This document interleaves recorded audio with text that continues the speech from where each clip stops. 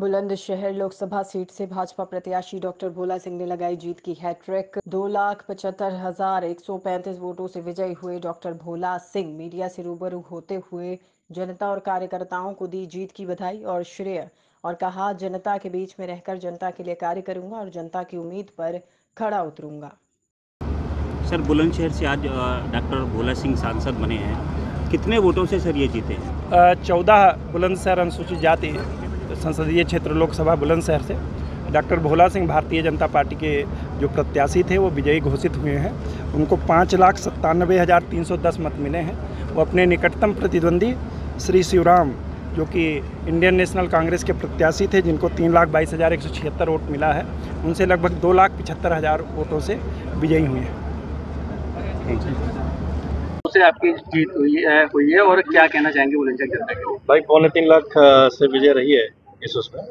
और मैं अपने शीर्ष नेतृत्व को भारतीय जनता पार्टी के और अपने क्षेत्र के सभी सम्मानीय कार्यकर्ता बंधुओं को, सभी अपने मतदाताओं को बहुत बहुत उनका आभार करता हूँ, अभिनंदन करता हूँ कि पार्टी ने तीसरी बार मुझे यहाँ से मौका दिया, मुझ पर विश्वास जताया और हमारे कार्यकर्ताओं ने दिन रात मेहनत की और यहाँ की जनता ने तीसरी बार उस विश्वास को अपनी मोहर लगाकर और मतदान कम होने के बावजूद भी परसेंट कम होने के बावजूद भी इतनी प्रचंड बहुमत की जीत दी है। इसके लिए मैं अपनी क्षेत्र की जनता का बहुत बहुत आभार करता हूँ। बहुत बहुत उनका धन्यवाद करता हूँ। इस बार कौन से ऐसे काम होंगे जो जनता के रहेंगे? देखिए दस साल में देश के साथ साथ बुलंदशहर में भी ऐतिहासिक विकास हुआ है।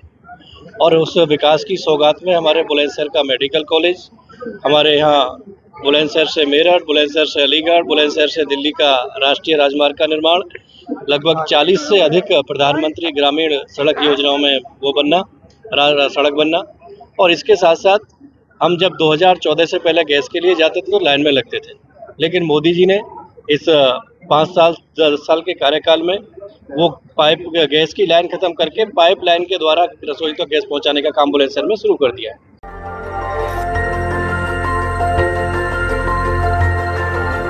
देखते रहिए डीवी भारती समाचार नज़र हर खबर पर।